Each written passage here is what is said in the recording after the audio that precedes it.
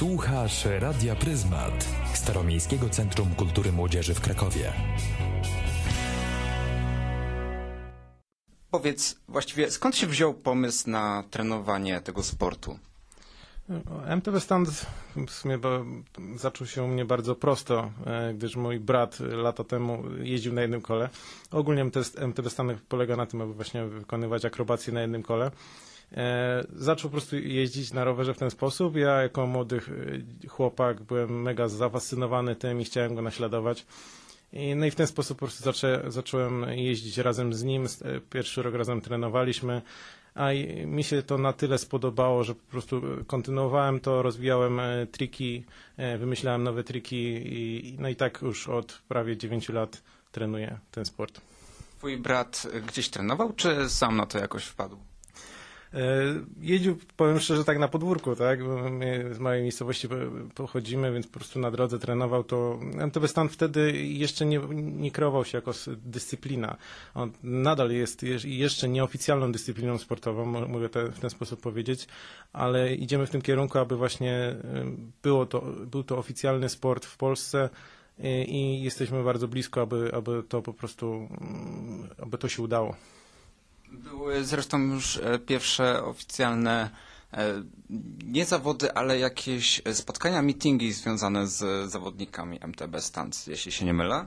E, znaczy to już były zawody, bo, bo tak, w 2014 czy, czy 2013, już powiem szczerze, nie pamiętam tych dat, w Polsce były pierwsze zawody ogólnopolskie, a dokładnie w Krakowie, e, Kraków Stand Cup, później kolejne zawody w Radomsku, ogólnopolskie, a aktualnie od trzech lat organizuje już Mistrzostwa Świata. Pierwszy raz były w 2017 roku w Wodzisławiu Śląskim, potem 2018 Ustka i w tym roku w Wieliczce były już właśnie trzecie Mistrzostwa Świata MTB Stan Grand Prix e, po prostu właśnie rangi międzynarodowej. No, nie jest to właśnie, tak jak mówię, oficjalny sport zapisany jakby e, w, w Kolarskim Związku, po Polskim Związku Kolarskim, ale my to nazywamy jako po prostu zawody sportowe, bo no, zawodnicy przyjechali po prostu z dalekich y, krajów, tak, żeby konkurować. E, staraliśmy się to zrobić jak najbardziej profesjonalnie, aby sędziowie y, byli przeszkoleni i także nazywamy to na pewno zawodami międzynarodowymi, tylko może tak nieoficjalnymi jakby w prawie. Jak wyglądały twoje pierwsze zawody? E, moje pierwsze zawody, e, znaczy powiem tak, moja kariera, jeśli chodzi o zawody, była e, o tyle ciekawa, że, że w 2011 i 2012 roku zacząłem zawody e, od internetowych, e, bo aktualnie są dwa typy zawodu, zawodów MTB standowych. Jedne to są internetowe, za, po, za pośrednictwem YouTube'a, po prostu zawodnicy dodają filmy ze swoimi, swoimi przejazdami, sędziowie międzynarodowi oceniają to i, i w ten sposób wyłaniamy internetowego mistrza stand, stand. I, I, wtedy to, to, tak wyglądały moje początki, jeśli chodzi o zawody internetowe.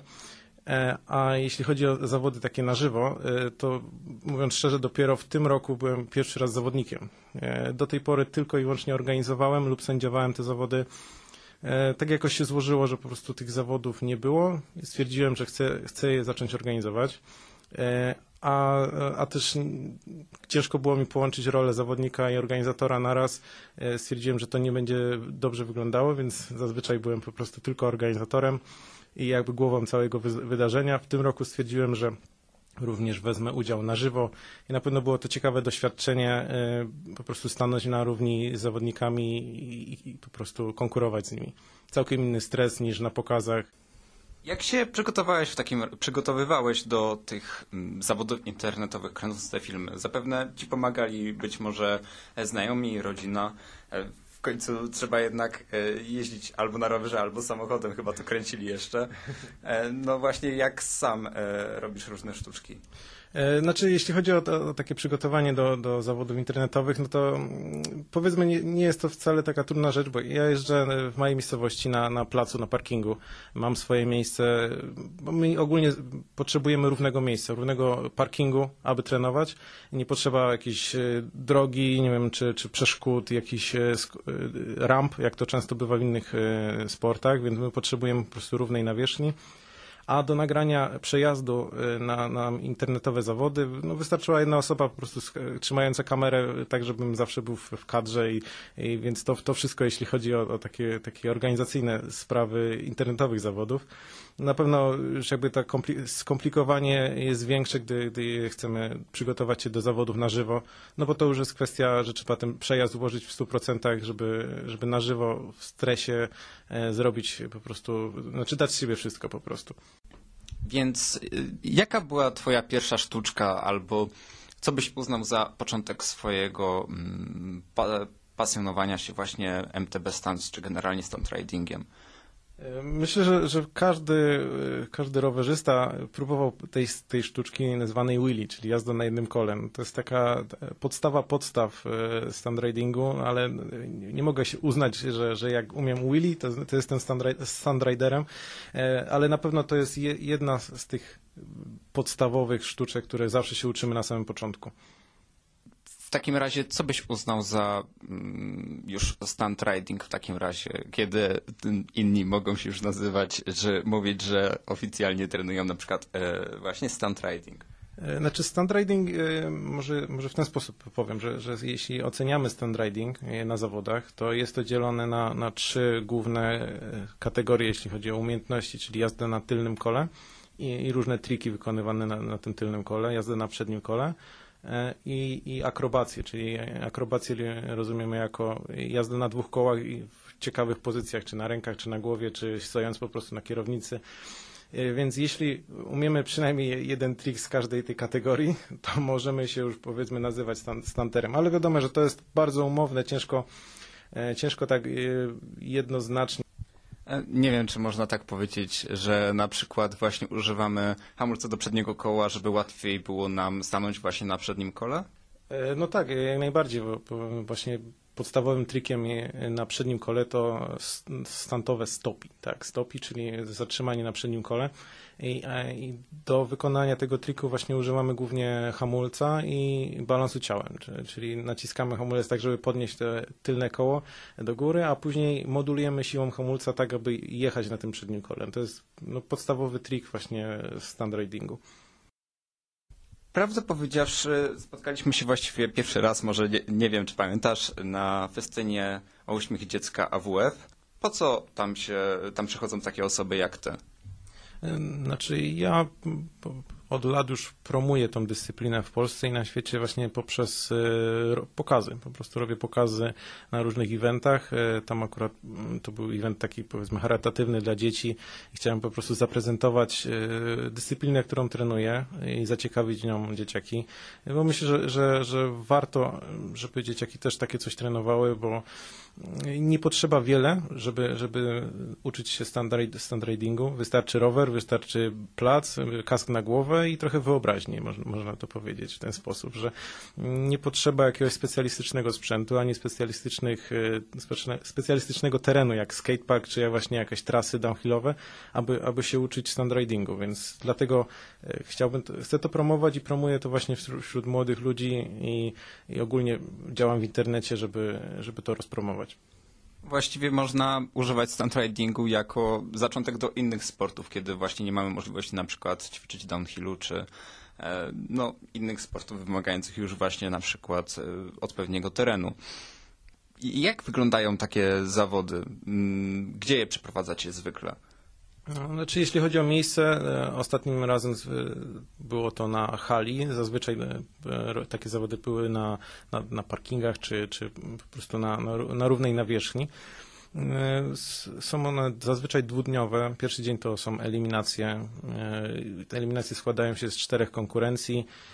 Willy Race, Stoppy Challenge, Combo Challenge i Quick Run. Bardzo anglo, anglojęzyczne nazwy, e, ale już tłumaczę. No, Willy, Challenge, Willy e, Race to jest wyścig na jednym kole. Sprawdzamy e, umiejętności jazdy na jednym kole e, po prostu na czas. Więc to jest to też troszeczkę tak bardziej właśnie wyścigowo, już po- pomyśleliśmy. Stoppy Challenge, czyli jazda na przednim kole. Kto dalej, ten więcej punktów zbiera. Kto dalej przejedzie na przednim kole. E, e, Combo Challenge, czyli naj, najciekawsze triki na tylnym kole po linii prostej. E, To jest nowość w tym roku wprowadzona. a i quick run, czyli bardzo krótki, 60-sekundowy prz- y, przejazd po prostu zawodnika. Zawodnik musi go tak ułożyć, aby zrobić triki ze wszystkich czterech kategorii, których sędziowie oceniają.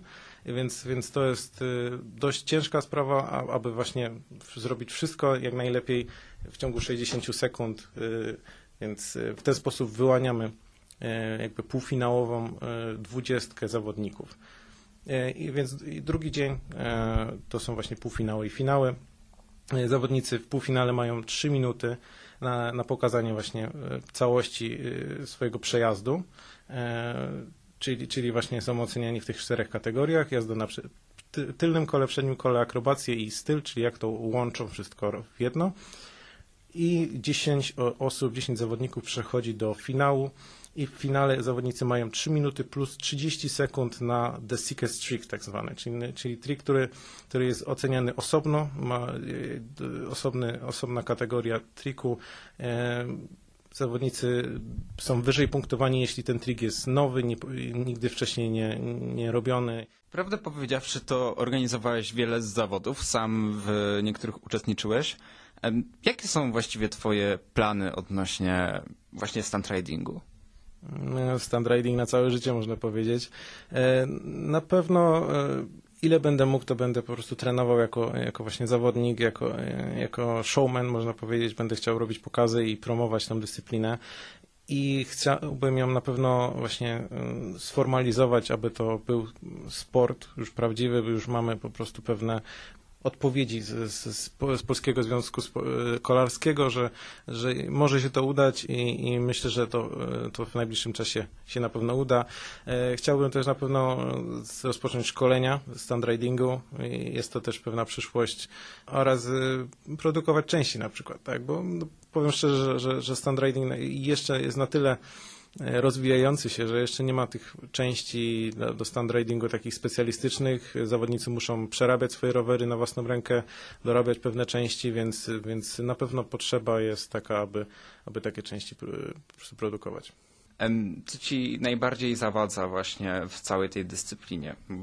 Tak jak na przykład przed chwilą powiedziałeś, że, że może być e, nieprzyjemna sprawa z częściami, że po prostu no właśnie trzeba je przerabiać pod swoje potrzeby. Nie ma, nie ma dużo zawodów, nie, niewiele osób y, podejmuje się organizacji zawodów, y, więc, więc i więcej imprez to zwiększa popularność sportu i więcej właśnie zawodników chciałoby po prostu profesjonalnie się po- podjąć taki e, po prostu z trenowania, tak, i bycia standriderem profesjonalnie, więc może, może w ten sposób tutaj bym poprawił coś.